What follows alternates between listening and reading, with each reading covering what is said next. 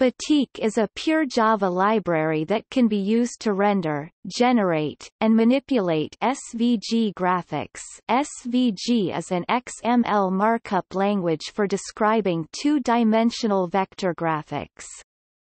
IBM supported the project and then donated the code to the Apache Software Foundation, where other companies and teams decided to join efforts. Batik provides a set of core modules that provide functionality to render and dynamically modify SVG content, transcode SVG content to some raster graphics file formats, such as PNG, JPEG and TIFF, transcode Windows metafiles to SVG, WMF or Windows metafile format is the vector format used by Microsoft Windows applications, and manage scripting and user events on SVG documents. The Batik distribution also contains a ready-to-use SVG browser, called Squiggle, making use of the above modules. The name of the library comes from the batik painting technique.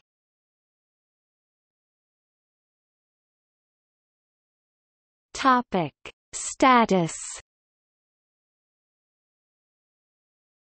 Batik was long the most conformant existing SVG 1.1 implementation and as of 2011 is just a small fraction behind Opera, version 1.7, made available on January 10, 2008, had an almost full Implementation of the current state of the SXBL specification, a nearly complete implementation of SVG declarative animation SMIL features, and some of the SVG 1.2 late October 2004 working draft see SVG's development history.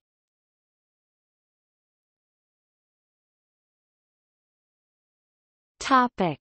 See also